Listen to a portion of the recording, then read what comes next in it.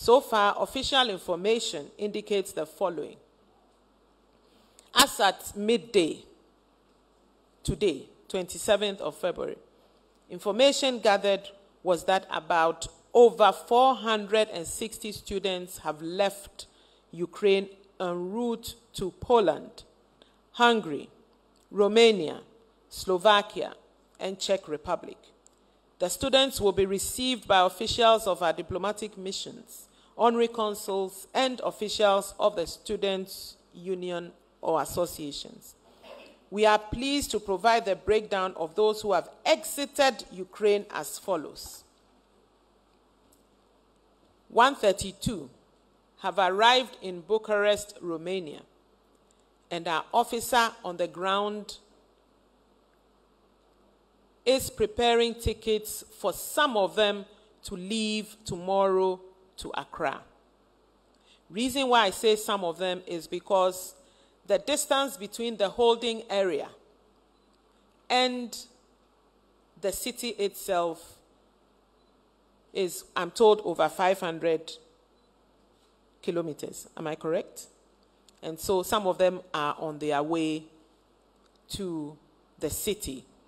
At the moment, he has with him 24 of them who are at the airport, and he's trying to get them on Qatar Airways to Accra.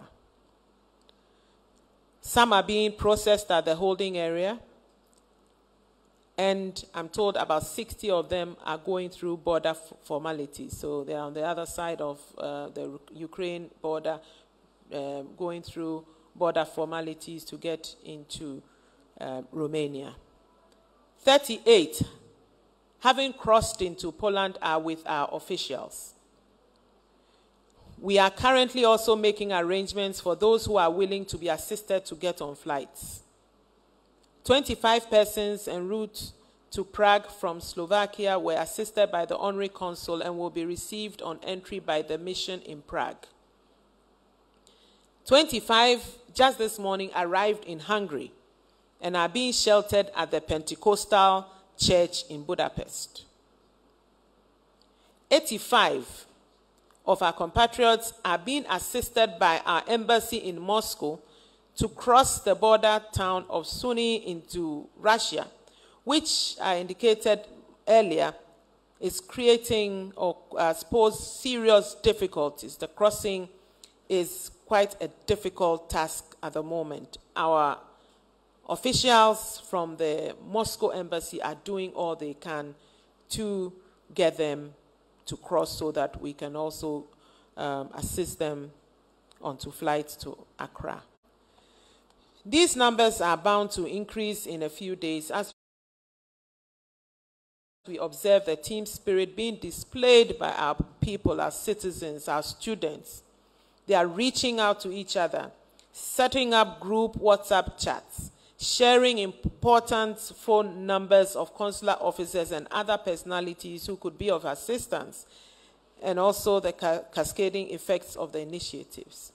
A most gratifying and heartwarming message, such as we are safe now, I've received several, could not have come at a better time.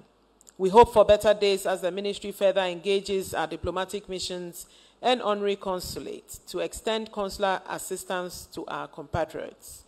Ghana has also put in place the necessary package to facilitate transportation, accommodation, feeding, medical support, flights, etc., to ease any burden on our people.